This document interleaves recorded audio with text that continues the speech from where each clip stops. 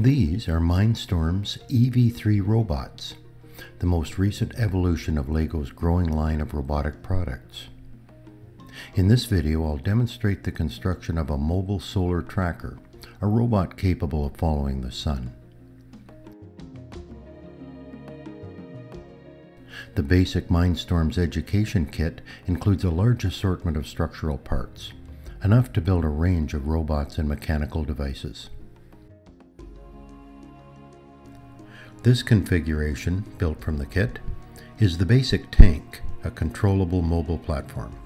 Two powerful motors drive this tank. Accessories for the tank include a third motor, an ultrasonic rangefinder, color and light sensors, a gyro sensor, two touch sensors, and a graphical programming language. The sensors produce a stream of information, data about the tank's orientation, speed, and environment.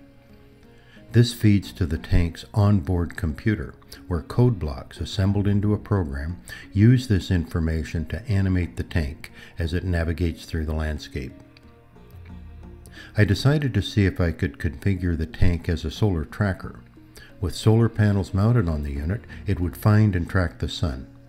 A working model of a Mars rover, ensuring the panels were always pointed at the sun, producing electricity. This is the completed unit being tested with a light source. As you can see, it works.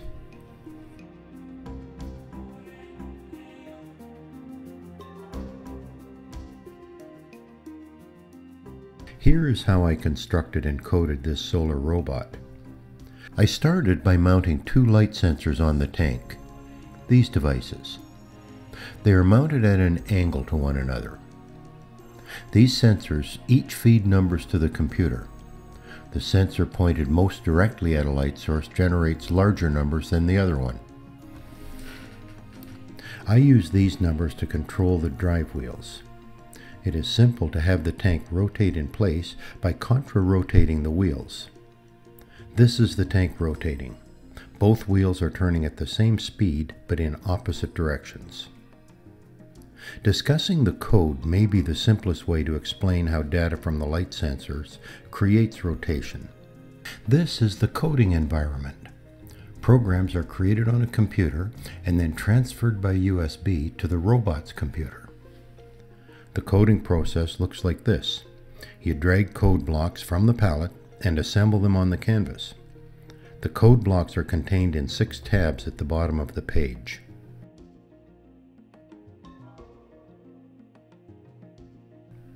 The program starts with a Start button. I'm going to use a loop. Code inside the loop repeats endlessly until we decide to stop it. This is what a loop block looks like. Next, I will insert one light sensor code block and then the second light sensor code block. We will eventually pull data from these blocks. Note each sensor has its own port, numbers 1 and 4. Next I insert a math block. Later we will assign values to A and B. Note the minus sign. We will be subtracting these values. Next I insert another math block. Again, we will be assigning values to A and B. Note this time we will be multiplying A times B. A comment on the math blocks. A standard math block has two inputs, A and B. I think of these as variables, but that can cause some confusion when A and B appear in the next math block. The inputs in all standard math blocks are labeled A and B. They don't function like global variables. Think of them as inputs to each math block. Next is the Move Tank block. Among other things, this code block allows us to control the speed and direction of the drive motors. At the moment, they are both set at zero. Now we have to wire the blocks together, feeding data into the program. We will start by connecting the data feed from one of the light sensors to variable A in the first math block. A will have the value of any number coming from the light sensor. Next, in a similar fashion, we will connect the data feed from the other light sensor to B in the first math block. B holds values from the other light sensor. This math block will perform the subtraction A minus B. The result of this subtraction is then fed to A on the next math block. Note that I have signed the value minus 1 to B and this block is multiplying a times b. That becomes a times minus 1. This changes the sign of a. The product of this code block is now fed to one of the motor controllers. Next we go to the first math block and connect its output to the other motor's controller. Can you see how this works? Data from both light sensors comes into a math block where the two numbers are subtracted. The value of this subtraction is fed to two places. One line takes the value directly to a motor controller. The other line changes the sign of this value and takes it to the other motor controller. Their absolute values going to each motor controller are the same, but their signs are different. That is how we obtain contra-rotation in the wheels. A minus sign reverses rotation. One wheel will go clockwise, the other counterclockwise. The motors will stop when the two sensors have the same value.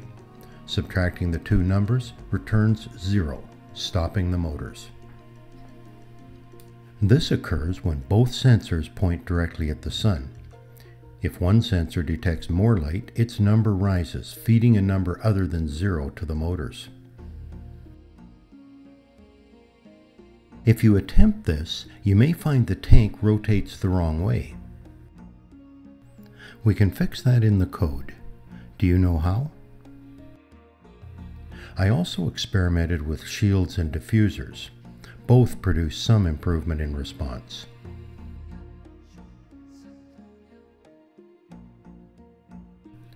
I attempted to keep this code as simple as possible. There is room for improvement. For instance, some code is needed to ensure the panels are pointed directly at the sun and not directly away from it. Confirming that the sensors are detecting a high ambient light value is one approach. This programming environment is impressive, allowing users to quickly assemble complex programs but I would like to point out that there is some heavy intellectual lifting going on behind these code block icons. This powerful package was created by teams of programmers, mathematicians, and engineers. Code block icons like these represent layers of sophisticated coding. LEGO has brought this all together in a remarkable product. If you're interested in experimenting with entry-level robotics, this Mindstorm package is a good place to start. For more science and technology videos, visit our website, hylaroad.com.